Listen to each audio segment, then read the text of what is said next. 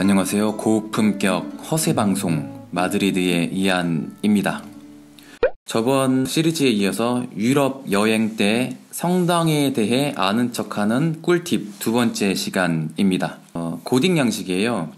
유럽에 있는 성당 중에 가장 아름답고 또 가장 많은 성당 중에 하나입니다. 유럽을 대표하는 또 카톨릭의 성당의 대표 양식 고딕에 대한 흥미로운 이야기 하기 전에 구독, 좋아요 먼저 누르고 시작하겠습니다. 바모스.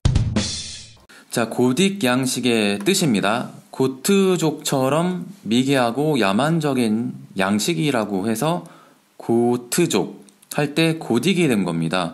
고딕하면 뭔가 이름은 멋있는데 알고 보니까 되게 부정적인 뜻으로 평가절하한 게 이 용어의 어원이죠. 파리에 그 노트리담 대성당이 있죠. 사르뜨르 대성당. 뭐 가우디의 어떻게 보면 독자적인 모더니즘 양식이라고 부르지만요. 그 근본 뿌리는 철학은요. 고딕 양식에 있습니다. 근데 이게 야만적인가요? 이쁜데? 이게 왜 미개해? 와닿지 않지 않나요, 솔직히? 시대는 주로 중세 말입니다. 12세기경부터 어, 주로 프랑스에서 유래가 된 건데요. 고트적 양식이면 고트적이랑 상관이 있을 것 같잖아요. 별 상관없습니다. 르네상스 시대 때 주로 이탈리아 사람들이죠. 그 전 시대 중세 미술을 암흑의 시대라고도 부르잖아요. 중세 말에 유행했던 이 양식을 아주 야만적이고 또 미개하다고 멸시한 데서 유래가 된 말이에요. 고트적이랑 상관도 없는데 그러니까 다른 인종도 깔보는 그런 성향도 있고 주로 이탈리아니까 아름다운 프랑스 거라고 해서 좀 멸시하는 것도 없잖아 어, 그런 성향이 있죠. 고딕 하면 대표적인 특징이 높은 첨탑이 있죠. 수직의 미학이에요. 넓은 실내 공간이 특징입니다. 이런 아치를 첨두 아치라고 하고요. 이런 천장 양식을 vault라고 하는데 rib vault 어, 양식입니다. 커다란 창문이 특징이에요. 이거 되게 중요합니다. 성당 옆에 날개 모양이 있어요. flying buttress라고 하거든요. 십자가형 평면도가 주요 특징입니다. 어려워요, 말이. 제가 쉽게 이거를 어, 풀이해 드리겠습니다. 유럽 성당을 여행 때 정말 아는 만큼 보인다고 즐기기 위한 팁 첫 번째가 위성 지도를 켜고 십자가를 찾아라예요. 제가 유럽 대다수의 성당이 십자가형이라고 말씀드렸죠. 그래서 고딕 양식도 대다수가 십자가형입니다. 자, 대표적으로 루앙 대성당이에요. 여기 십자가형이죠. 십자가 다리 쪽에 두 개의 어, 대칭이 된 첨탑이 주로 있습니다. 자, 다른 성당 볼게요. 켈른 대성당 보면 이건 정십자가형이죠. 역시 날개 부분이 이렇게 있습니다. 다리 부분에 역시 대칭이 되는 첨탑이 있죠. 가운데 심장 부분이 포인트라서 이곳이 더 높은 경우도 있습니다. 머리 부분, 심장 부분 핵심이에요. 그래서 중앙기사실이나 성가대석이 주로 심장이나 머리에 모여 있습니다. 자, 똘레도 대성당이에요. 여기 머리에 중앙 미사실이 있고요. 그 다음에 심장에 성가대석이 있습니다. 자, 이 해가 뜨는 방향도 생각을 했거든요. 여기 동쪽이죠, 오른쪽이. 동쪽에서 해가 비치면요, 오전에 환상적인 어, 빛을 느낄 수가 있죠. 빛의 방향을 다 고려해서 지은 게 아, 이런 성당들이죠. 십자가를 찾으면요, 재밌어요. 성당들의 십자가형이 조금 다르거든요. 그것을 비교하는 재미가 있습니다. 두 번째 팁이에요. 실내에서 고개를 들고 아치와 천장을 보세요. 고딕의 대표적인 아치 이름이 첨두 아치라고 해서 별명 pointed arch라고 해요. 뭐냐면 모서리가 뾰족한 이런 아치를 첨두 아치라고 합니다. 옛날 로마네스크 때는요, 로마 경기장처럼 둥근 모양이었어요. 진화돼서 뾰족한 형으로 바뀌다 보니까 공간이 늘어나겠죠. 이게 기원이요. 유럽 게 아니라 원래 이슬람 아치에서 기원된 겁니다. 자, 요 모양이에요. 어, 모스크나 이슬람식 궁전 가면요, 요런 아치 좀 비슷하지 않았나요? 그러니까 알고 보니까 이슬람에서 기원된 아치가 유럽의 대다수의 성당에 어, 쓰이게 된 거죠. 첨두 아치라고 하는데, 고딕의 대표적인 아치의 특징입니다. 잘 기억하세요. 천장을 궁륭이라고 해요. 그리고 vault라고 하거든요. 그러니까 여기 볼트 쪼인다 할때이 볼트 그게 아니에요. 천장 둥근 양식을 또 따지거든요. 자, 이런 양식을 rib vault라고 해요. 네 개의 창살이 모여드는데 요 각진 아치가 같이 모여드는 거예요. 이런 한자어로 늑재 궁륭이라고 하고 또 교차 궁륭이라고도 하거든요. 천장 양식, rib vault, 요 모양, 이 방패연이 포인트로 모여드는 요 모양 어, 기억해 주시기 바랍니다. 근데 이 아치도 역시 이슬람에서 기원된 거예요. 이 아치가 고마운 게 뭐냐면 이전 로마네스크 때 무게 하중을 감당하기 힘들어서 창문도 너무 작고 벽이 엄청 두꺼웠습니다. 그래서 높은 첨탑도 올리기 힘들었죠. rib vault 양식, 천장 양식 덕분에 아주 무거운 하중을 벽과 기둥으로 분산시켰다고 해요. 석재도 절약되고 높은 첨탑이 이때부터 올라가게 되는 거죠. 벽이 가늘어져도 되고 아주 커다란 창문이 유행하게 됩니다. rib vault 양식의 요 모양이에요.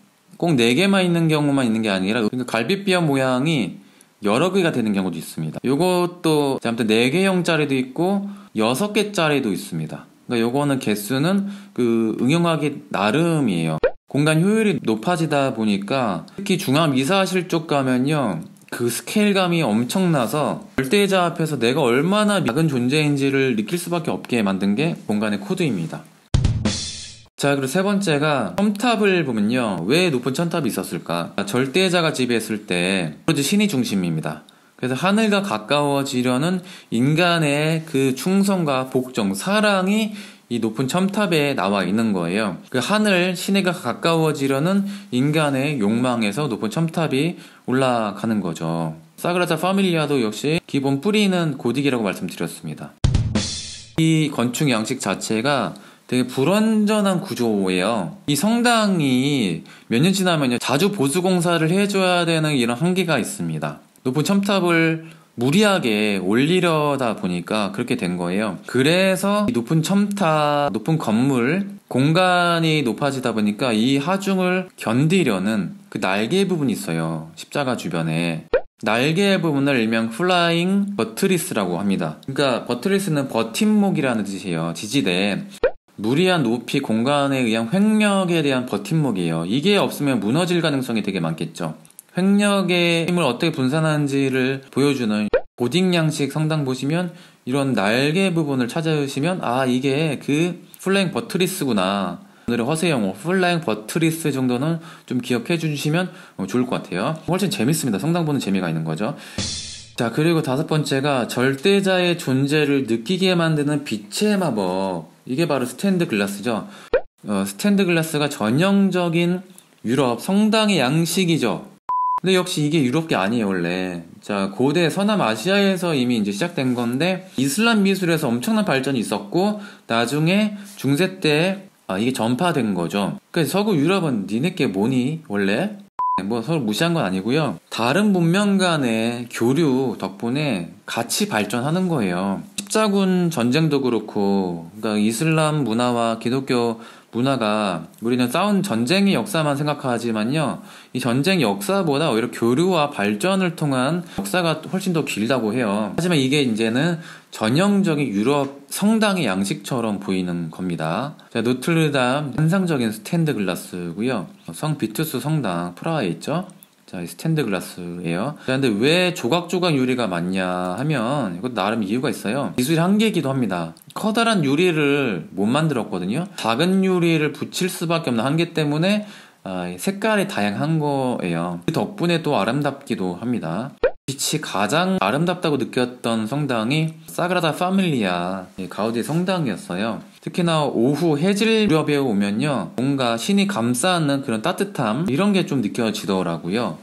중세의 미의 관점은 인간의 미의 관점이 형태의 미학, 외모 지상주의가 아니라고 그랬죠.